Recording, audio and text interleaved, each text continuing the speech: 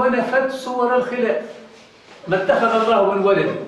هذه سيأتينا في التعليق ومن في كتاب التعليق الحكومة ما اتخذ الله من ولد. طبعا نفي الولد. كما جاءت الآية سورة الإخلاص قل هو الله أحد. الله الصمد وهذه نفت كثير الأشياء.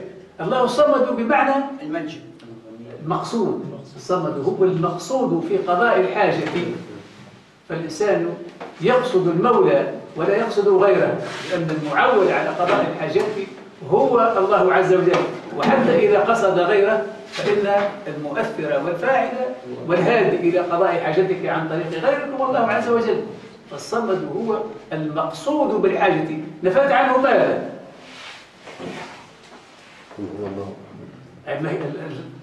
نفت عنه ماذا؟ الصمد؟ نفت عنه الاحتياج الحاجة. لم يلد ولم يولد. نفت عنه ماذا؟ وهذا سموه سموه العلة والمعلوم. أي أن المولى عز وجل ليس علة أي ليس له سبب لوجوده. وليس معلولا. لا عند لا هو تسبب في ولد ولا هو نتيجة والد. وهو العلة والمعلول. ستجده ربما في التعليق. إذا هذه الآية نفت صورة الخلاف. اختلف لو اختلف لذهب كل إله بما خلق بما خلق ولا على بعض ما لا نفس الصورة. إما أن يستقل أحدهما بما خلق ويستبد به وهذا غير واقع. وإما أن يتصارع ويتغالبا فيكون الغالب هو الإله وهو الإله القادر الحكيم العليم.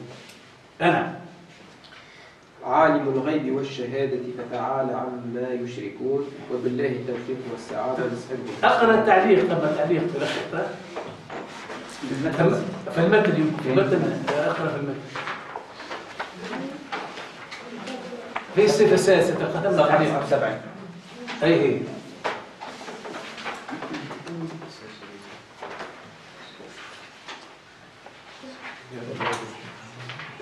تقول لي ثم التعليق أنت تقول والله أحد. أي هي شوف التعليق لأن فيه فوائد. نقراها نقراها صفحة 79 التعليق الثاني. وجدت في نهاية بعض المخطوطات. وجدت. وجدت. آه وجدت. وجدت. وجدت في نهاية بعض المخطوطات نقلا عن القاضي أبي بكر بن الطيب البقلاني رحمه الله. البقلاني هذا من من أعلام الأشعرية. من أبرز أعلام الأشعرية. أبرزهم هو البقلاني وله كتاب التمهيد وكتاب الإنصاف. هذا قال وجدت ولهذا لا قال وجدت في في عند البقلاني ماذا وجد؟ فرق ابن طيب البقلاني رحمه الله ولعله من بعض كتبه المفقودة أصول الكفر ثمانية. أصول؟ الكفر ثمانية. ثمانية هذا الله الكثرة والعدد. هذه هذه الأشياء توصل إلى الكفر لأنها فيها شرك. الكثرة والعدد. عدد الآلهة والكثرة في التركيب والتجزئة. نعم. والنقص والتقليد. والعلة والمعلول والنظير والشبيه هنا بالله النظير والشبيه تقدمنا في الحصة السابقة. أولا الشبيه والمثيل قلنا المثيل مثله يطلق على الشبيه وعلى النظير. في جزء في جزء لأن الأشياء تسمى باسم الجزء تارة وتسمى باسم الكل. نحن نقول علم التوحيد سميناه العلم كامل مسائل العقيدة كلها بصفة الجزء وهو التوحيد. ونقول علم الكلام سمينا المسائل العقدية كلها على بصفة الكلام. ويمكن أن نسمي نسميه بالكل جزء واحد نسمي الكل باسم الجزء لكن في التدقيق والدقق بين الألفاظ في حتى المترادفات فيها تدقيق بينها بينما هي في العموم تسمى مترادفات فالتشبيه أو الشبه أو الشبيه هو فيه تشابه في أغلب الصفات. فنقول من شابه أباه فما ظلمه الابن شابه أباه. قد يشابهه في مجموعة من الصفات. أو البنت شابهت أمه. وليس في جميع الصفات. والنظير شبهه في بعض الصفات والمثيل شبهه في جميع الصفات. ولهذا عندما نعبر ليس كما عبرت ليس كمثله شيء أي ينتفي المماثلة في كل شيء وينتفي المماثلة في جزء منها وتنتفي المماثلة في معظمها. أنعم.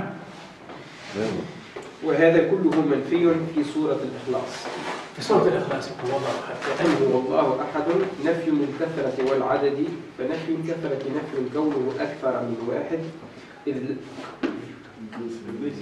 فنفي؟ ف- فنفي الكثرة نفي كونه أكثر من واحد. إذ ليس في الوجود إلا الواحد لأنه واحد في ذاته وواحد في صفاته وواحد في أفعاله. ونفي العدد نفيا أن ي... ونفي العدد نفيا.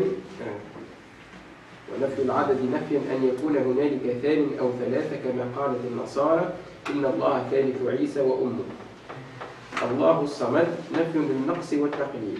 نفي أن يكون له جوف كسائر الخلق. وهذا نقص. هذا لأنه من صفات المخلوق. نعم فإن التجويف هي هي الحاجة إلى الطعام وهي من صفة الخلق وذلك نقص. ونفي التقليل بمعنى بمعنى بمعنى نفي أن يكون قليلا كالجوهر الفرد لأنه لا يقدر على شيء. لم يلد ولم يولد. نفي للعلة جوهر الفرد لأنه هو الجزء الذي لا ينقسم. وإن كان الآن انقسم في البحوث الأخيرة وأن جوهر الفرد ينقسم إلى ما إلى ما أكثر من جزء. أي لم يلد ولم يولد نفي للعلة والمعلول. والعلة العلة والمعلوم والعلة في اصطلاح المتكلمين كون الشيء سببا في وجود شيء آخر. أب الأب علة للابن أو موجود. أي. الوالد سبب في. وجود الولد والماء سبب في وجود الخلق. قال تعالى جعلنا من الماء ها وجعلنا من الماء كل شيء حي. فالعلة الوالد والمعلول الولد ولم يكن له كفوا أحد نفي للنظير والشبيه بمعنى لم يكن من, من يناظره في الملك بأن يكون إلها مثله ونفي الشبيه نفي أن يكون في الخلق من يشبه من يشبهه سبحانه ليس كمثله شيء وهو السميع البصير. يظل الصفة الوحدانية ه- واضحة وفهمها على هذه الصورة يخرج الإنسان من التقليد. اسمع، ليس مقلدا في هذه المسائل لأنه هذا المطلوب. وليس المطلوب هو البحث الفلسفي المنطقي اللي يتعلق بالجزئيات واختلاف الآراء واختلاف كذا. إنما المطلوب هو الدليل العقلي الواضح المؤيد بالآيات القرآنية الواضحة يخرج صاحبه من التقليد. والله أعلم.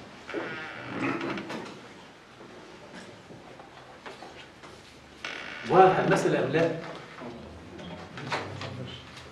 الكتاب على كل حال الكتاب بالكتاب واضح. والإنسان يزيد يرجع للكتاب ويعيد قراءته مرات. والمهم راهو يلزم إذا كان ثم امتحانات مراد حاجة امتحانات أسئلة يلزم الإلمام هذه المسائل.